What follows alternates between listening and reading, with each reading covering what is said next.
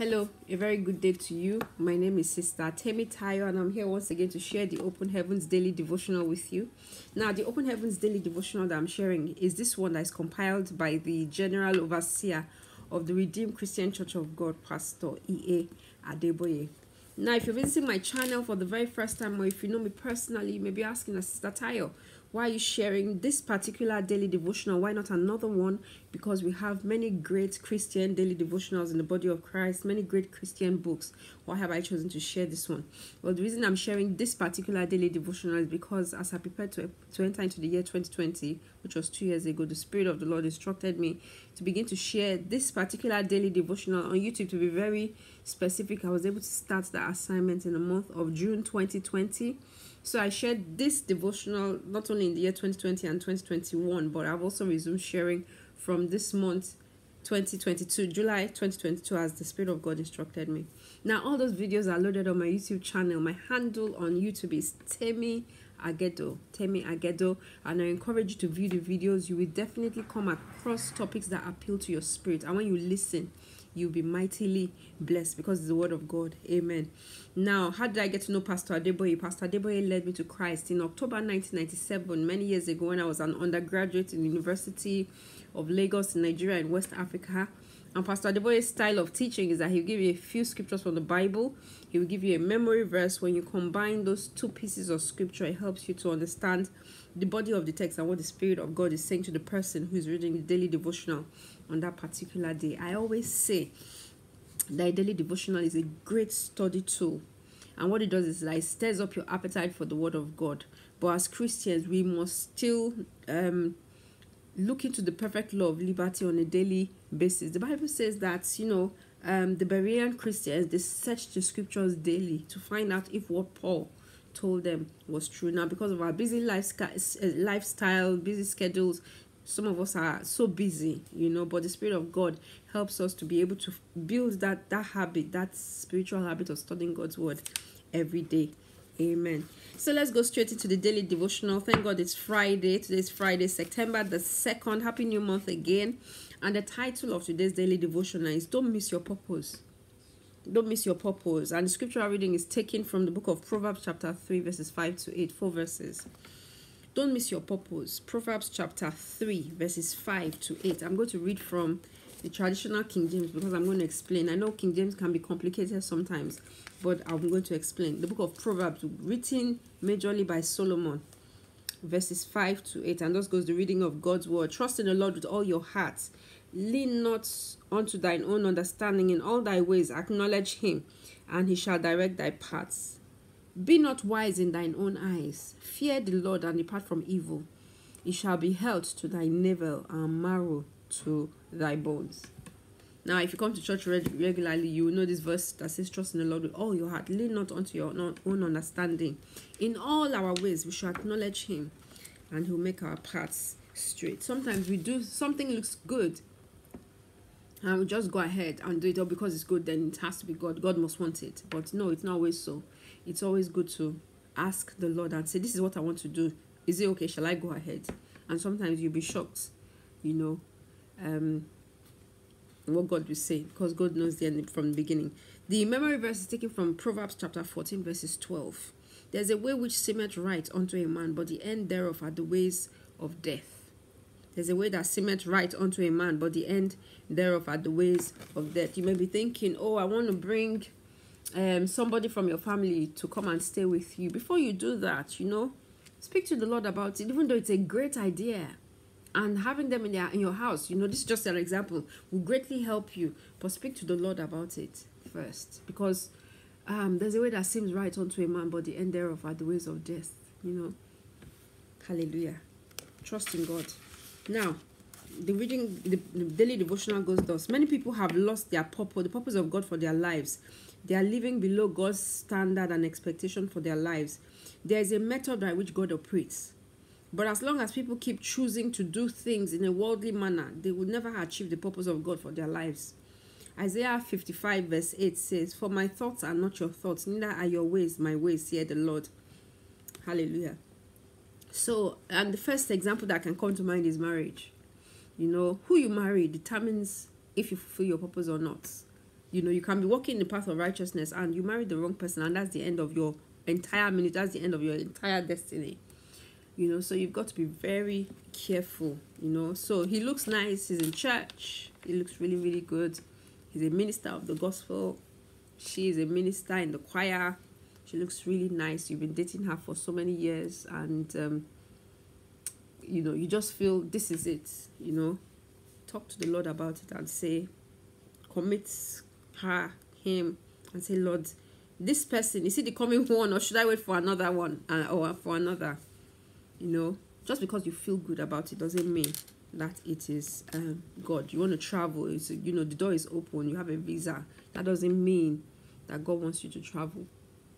God may prefer you to remain in a third world country. That may be your purpose. Do you get? So you need to ask God. Not every open door is God's door. Some are traps in disguise. Just because you have a visa doesn't mean that God wants you to travel out. Be careful, don't miss your purpose. God does not think like man thinks. In fact, the Bible says his foolishness is wiser than men.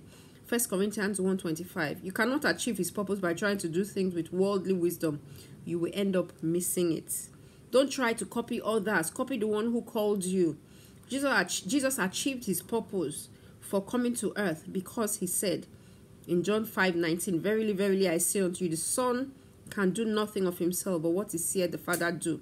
For what things soever he doeth, this also doeth his Son likewise. You know, so God does not think like man thinks. You know, man looketh on the outside, but God searcheth the heart. Do you get? So be very careful. Ah, it takes the Spirit of God, and that's why we have to stay close to God in fellowship. You know, listen to the Word of God, attend meetings, pray in the Holy Spirit. Be very careful. I pray that the counsel of Ahithophel in our ears will become foolishness. In Jesus' name. Amen. You know, um, don't copy just because every girl or every girl has gone to buy the bone straight doesn't mean that you should buy it. Not that that can destroy your purpose. You never know, but just because everybody's doing something doesn't mean you should do it. We're different, you know. I'm an original, not a photoco- photocopy. Some people want to preach like Elijah. They want to be another Elijah and call down fire from heaven. that may not be your purpose. God has already had one Elijah. He doesn't want another one. I can assure you. you know. Um. So, but Jesus Christ copied the Father, and Jesus Christ is my example. Jesus Christ is your example. So we do things. We do whatsoever Jesus Christ tells us. We do whatsoever the Word tells us. As many as are led by the Spirit of God, they are the sons of God. That, that's why it's God who is who must lead you. The Lord is our shepherd. Okay, let the Spirit of God. Uh, we copy Jesus Christ, not anybody else. Hallelujah. For young ministers of the gospel, pastor says, don't try to do things the way you've seen other popular ministers do things. Your calling is not the same as theirs. When I was younger in ministry, there were people whose sermons were very mesmerizing.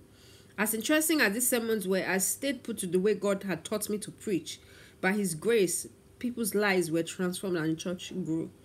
For those who were teaching deep theology, at the end of the sermon, when you ask the people what they learned, they would just say, Oh, Pastor was on fire today. Oh, there was no, but there was no real change in, in the lives of the people. My beloved, don't follow the crowd. Hebrews 12 2 says we should look unto Jesus, the author and the finisher of our faith. You pray to the Father in the name of just stay close to the Spirit of God and to the Word of God. Don't copy other people. Pastor is giving an example that when he was a young minister, you know, so many people used to do the Hebrew and um, the Greek, you know, they were following, copying other people. Do you get? Of course, you can learn things from other people. They can inspire you. Maybe you, there's a minister who prays, you know, five hours, and you want to. That's a good target to set. You know, you can pray that way. You know, but you are an original you know um, we look up to jesus christ. Let god lead you as many as are led by the spirit of god they are the sons of god. Pastor said but that was not how god taught him how to pray. Do you get? That was not how the way that's not the way god taught him how to pray. Amen. You somebody you know started a fellowship. Doesn't mean that you should do the same. Maybe god is calling you to into an evangelistic office. Let the spirit of god who called you lead you. Amen and Paul said when when um, God called him, he did not immediately confer with flesh and blood, but he went first to the to the to the wilderness in Arabia and stayed with God. He did not immediately confer with flesh and blood. You know, he said that God sent Peter to the Gentiles, but God uh, to the to the Jews, to the circumcised, but his own ministry was to the uncircumcised. He didn't follow anybody. He did exactly what God told him to do. I see some music ministers, they start very well singing great spiritual songs that attract the Spirit of God, but then they move on to those that will move the crowd. And if you notice, their ministries begin to go down from there on. Be wise. If you want to have a long lasting impact and eventually fulfill your destiny, do everything God's way and not the way the world does it. Sometimes you're not even doing the things that the world do. You're just um, copying another minister. And be, behold, you're different. Maybe God wants you to sing in a particular to your ministry is to sing in a particular language. Stay where God puts you. Okay, stay where God put you. Don't try to be somebody else. The, um, God said, Adam, where art thou? Where is the man that I created? You know, I can see Michael Jackson, but I can't see the man I created. You know, remain in the calling into which God has called you. Praise God. Look up to Jesus. Do everything God's way and not the way the world does it. I remember a, mini, a music minister, very, very popular music minister, and um, this record label. Some people said, you know, we will sponsor you, would would you get you a very good record label, something like that. But you know, just try and remove the name of Jesus. You put everything in Jesus, just try and re- reduce it. You know, that's you know, starts your you saw your your your Bible your uh, album will sell more, and he refused. May we refuse the counsel of the wicked. I always pray that the counsel of Ahithophel will become foolishness in my ears in Jesus' name. Let us pray. Father, give me the grace to never follow the world's wisdom, but your way always in Jesus' name. Father, in the mighty name of Jesus, we thank you for your word. Please help us, Holy Spirit, to remain in the calling into which God has called us in the name of Jesus Christ. Help us not to look at man, help us not to be distracted, but help us to look up to Jesus Christ, the author and the finisher of our faith. Help us to trust in God with all our heart and help us never to lean on our own understanding. In the mighty name of Jesus Christ, help us, Almighty God, to fulfill the calling of God upon our lives in the way God wants us to fulfill it. In the mighty name of Jesus Christ. Father, we receive grace, Almighty God. We ask that you pour out upon us the spirit of grace and supplication, that we may be able to pray even more, pray more until the will of God is clear before us in Jesus' name. Father, we thank you and we glorify you. Thank you for the calling. Thank you for the assignment. By the Spirit of the Lord, we'll fulfill our ministries in the mighty name of Jesus Christ. Thank you, Heavenly Father. In Jesus' name. Amen. I hope this blessed you. Thank you so much for listening to me today. My name is Sister Temi, and while you're on my channel, please don't forget to subscribe. Tap the notification bell, and the Lord bless you. Please share this on your social media platforms this is a form of evangelism, and I know that God will bless you as you do. I look forward to seeing you tomorrow. Don't forget to subscribe while you're on my channel. God bless you.